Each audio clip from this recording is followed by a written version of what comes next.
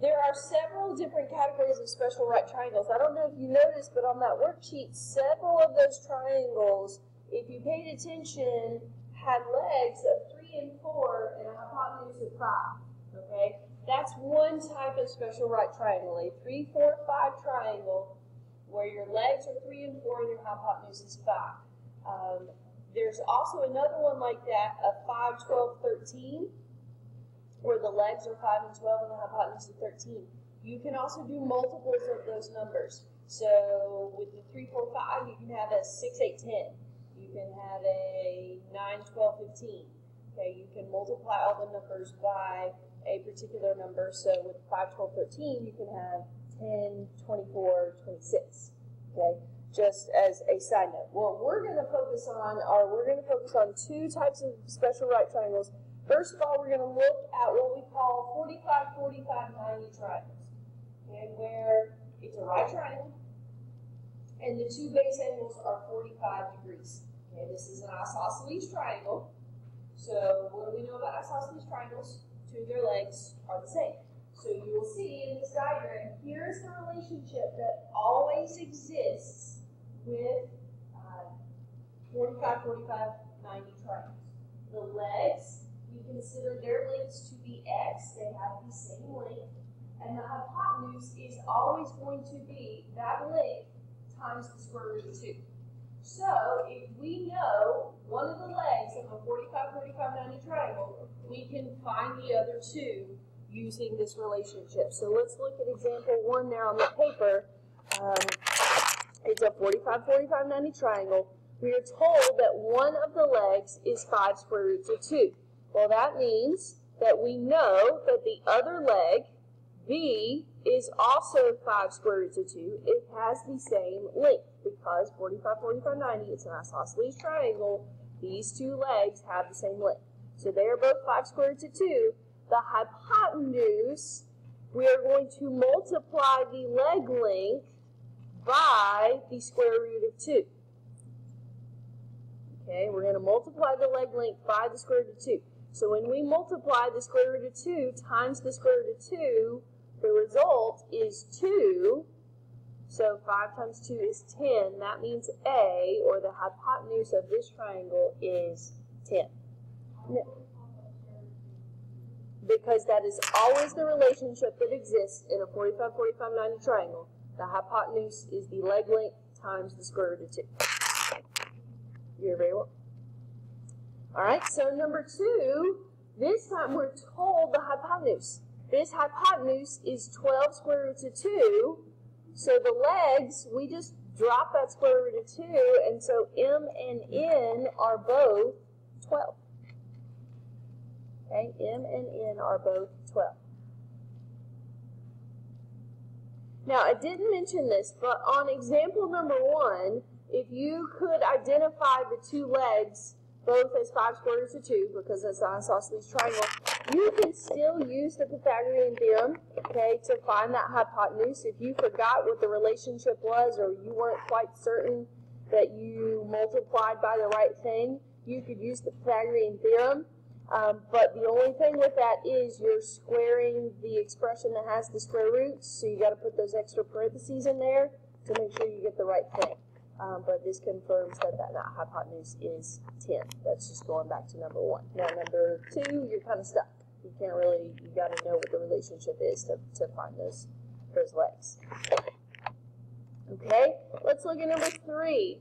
Number three, we are told that the hypotenuse is 5 square roots of 10. Well, that's not quite as straightforward as the one we just did. Okay, so the legs are x, the hypotenuse is x times the square root of 2. So if we have the hypotenuse, couldn't we just divide it by the square root of 2 to find out what the legs are? Now, we didn't really talk about this that in depth, but when you divide square roots, you can divide what's under the square root. So 10 divided by 2 is 5. That is equivalent to 5 square roots of 5. So that is the length of our legs. A and B for this triangle are 5 square roots of 5. because it wasn't under square root. You can't mix square roots and not square roots. Okay, so we have two square roots divided by two hundred. hmm You can simplify that, yes. Okay? Alright, and then let's look at number four. We're given a leg, so that means we automatically know the other leg. That other leg is the exact same thing, 11 square roots of 2 over 2. To find the hypotenuse, we need to multiply that expression by the square root of 2, okay? And um, as I was just, Mallory and I were discussing, you can only combine square roots, okay? You can only divide square roots, you can only multiply things that are under the square roots. So, um, the square root of 2 times the square root of 2, okay, at this point you should know, when you multiply square root by itself, it's just whatever's under the square root. So that's 11 times 2 on the top. It's still divided by 2, but we can cancel out those 2's, so the hypotenuse x here is 11. Okay? Not terribly difficult. You just got to remember the relationships between the, the legs and the hypotenuse. Now, we also have what we call 30, 60, 90 triangles. Okay, 30, 60, 90. Similar concept, but it's a little bit, you got an extra detail to remember because it's not an isosceles triangle anymore. It's not so easy that the two legs have the same length. These two legs do not have the same length. So notice, the leg opposite 30 degrees is what we consider x. The hypotenuse is just 2 times that value. The leg opposite of 60 degrees is x times the square root of 3. So let's just jump into an example here um, to, to see how all this works out. Now, uh, pretty much on these triangles, they just label the 30, or excuse me, the 60 degree angle. So you know if it's a if it's a right triangle, then the other angle is 30 degrees. So I would go ahead and label that on, on the triangle. Okay, go ahead and label that other angle as 30. So they give us the side opposite 30. That's good, because that's x. That means this one's going to be easier to figure out. Because if we know x, all we have to do is multiply by 2 for the hypotenuse. So the hypotenuse here is 16. And for the leg across from 60, we just got to stick a square root of 3 on the end. So A is 16, B is 8 square roots of 3. That one is pretty simple. Okay, let's look at number 6. They give us the hypotenuse. Well, that makes life fairly simple as well. They give us the hypotenuse, then um, half of that length is the leg across from the 30. So V, I know, is 11. And then once I know that, I just got to stick a square root of 3 on the end of it, and that gives me U, the side across from the 60 degrees.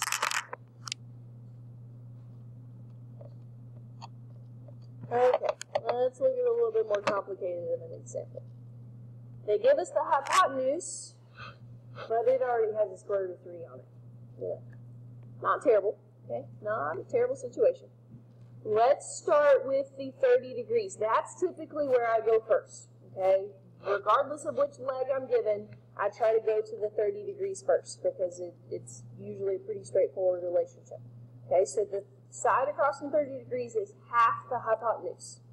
So I need to divide 4 square roots of 3 by 2. Okay, so I only divide the coefficients. 4 divided by 2 is 2, so that means B is equal to 2 square roots of 3. We do not change the 3 because it's under a square root. Okay, and then to find the side across from 60, I take the side across from 30 and I multiply it by the square root of 3. So when I multiply by the square root of 3, I get square root of 3 times 3, square root of 3, which is 3. And so 2 times 3 is 6. So A is 6.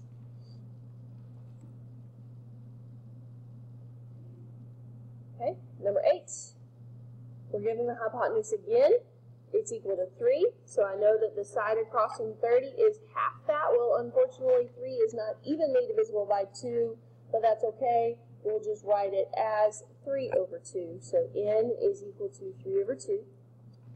And for the side across from sixty, we just need to stick the square root of three on that, so the side across from sixty is equal to three square roots of three over two.